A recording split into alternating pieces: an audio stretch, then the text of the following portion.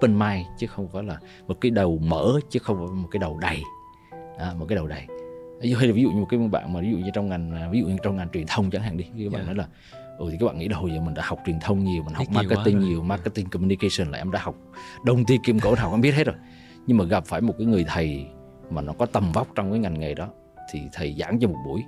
uh, khai mở cho một buổi thì ồ hóa ra mình cứ tưởng là mình cũng là cây đa cái đề trong ngành này hóa ra học xong biết rồi mình cũng cũng chưa tức là mình chỉ học cái ngọn chứ chưa học được cái gốc yeah. Dạ. trong cái ngành nghề này à, hay mình chỉ mới học được kỹ năng rồi mình học được các cái cái kỹ thuật chứ mình chưa học được cái cái đạo nghề hay là mình chưa học được cái cái cách để tự ra một cái con người tầm vóc trong cái nghề này ồ thì lúc đó hóa ra là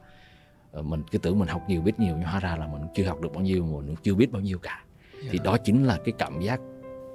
cái cảm giác khai sáng nó rất là đau đớn nhưng mà nó rất là nó rất là hạnh